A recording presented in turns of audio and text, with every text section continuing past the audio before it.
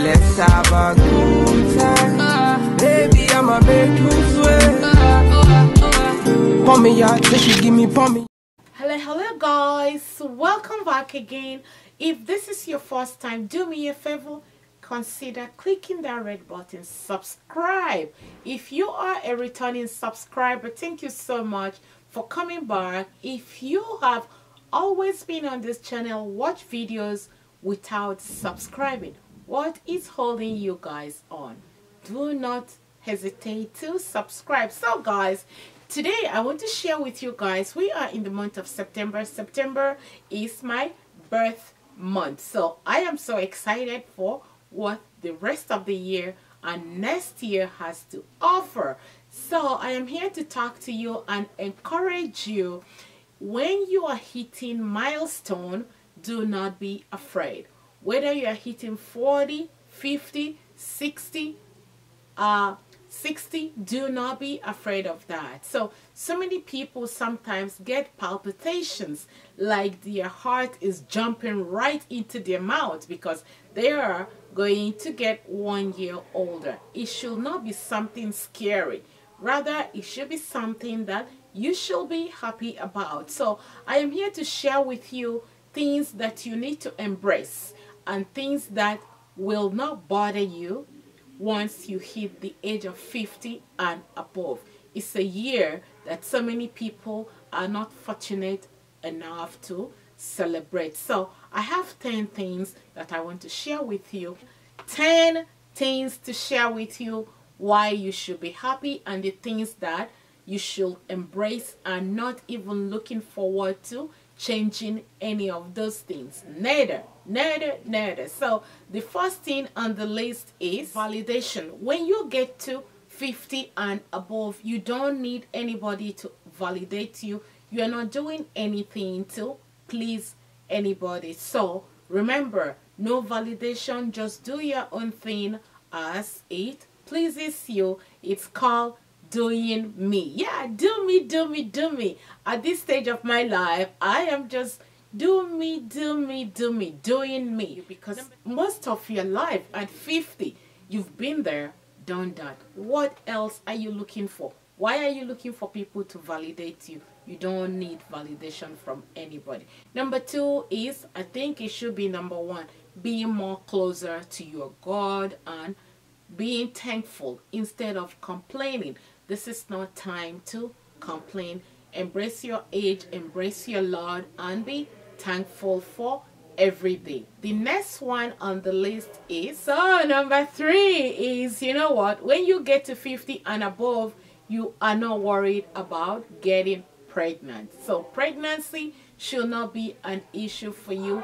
Raising small kids is not in your agenda anymore school runs is not in your agenda anymore. Number fourth one is body image. You need to start embracing your body image.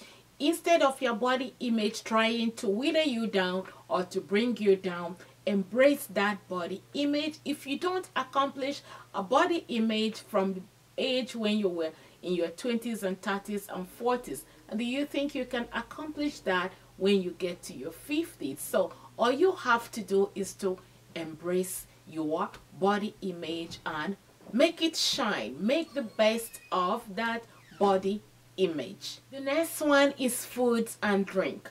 Food and drink cannot be everything for you. When you get to the age of 50 your metabolic rate tend to slow down. Not even 50 before you get to 50 40s and above your metabolic rate tends to slow down so food and drink should not be everything for you. You need to slow down on the way that you consume food.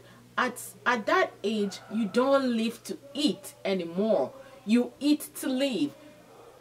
The food is just like it's just like a fuel that it's in your body that will carry you to the next day or that will carry you to your next mile. So think about when you're driving, you need a fuel, you need a gas in the car to take you to the next destination. So you are not really eating because of what the food, because you see food. You are eating for the nutritional content and the value of the food. So bear that in mind.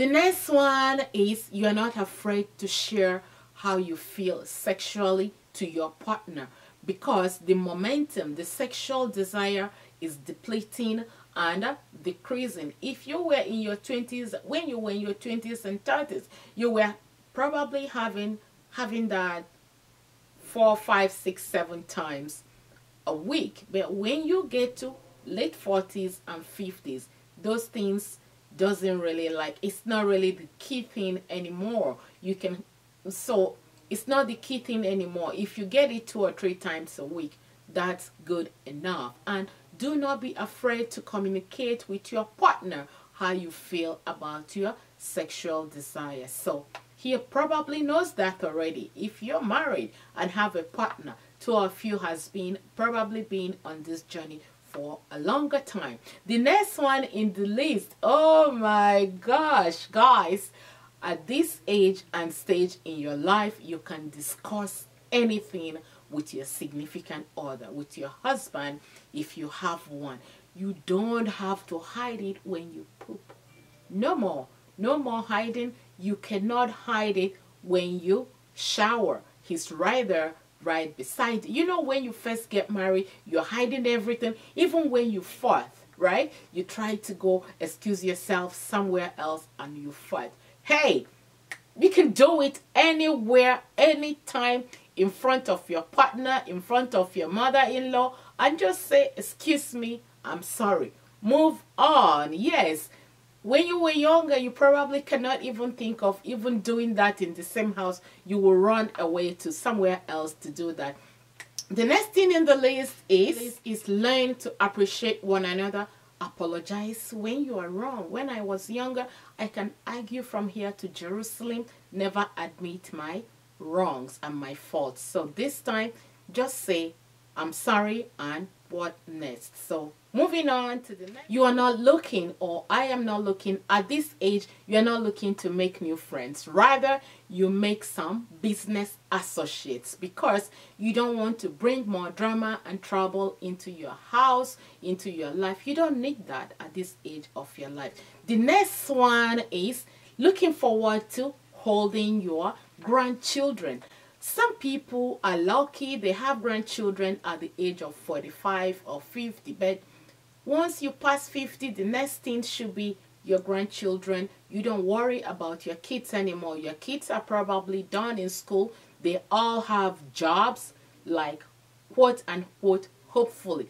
All you do is relax and the kids will take care of you while you're looking forward to holding your grandchildren. So guys, I'm going to leave you guys here. Leave me your thoughts and your comments. I am looking so forward to reading from you all. Bye-bye and take you for now. Remember, if you're not subscribed, click that red button, subscribe and share the video. I will see you guys in my next video. Bye!